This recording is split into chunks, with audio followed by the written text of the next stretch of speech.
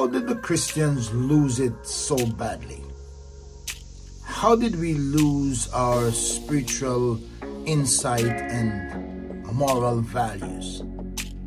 Have we become too political that we have lost our way of commitment to Christ and Him alone?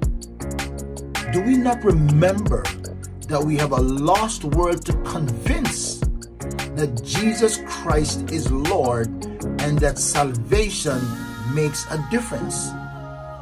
Do we not know that the world looks at us to see our character and our conduct if we're going to uh, convince them that Christianity brings change and it's worth a try? It is clear that you can't serve two masters. No man can serve two masters, for either he will hate the one and love the other, or he will hold on to one and despise the other. You cannot serve God and the mammon.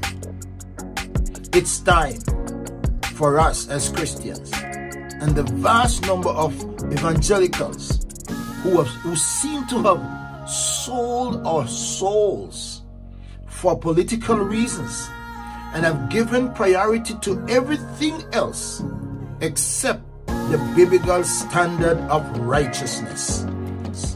We need to pull up our socks and we need to turn things around because the world is depending on us.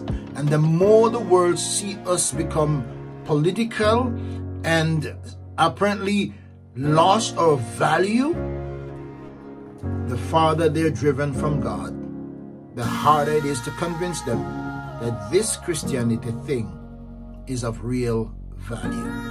We owe it to the world, we owe it to ourselves, we owe it to God, we owe it to the kingdom. We got to do something different, and the time is now.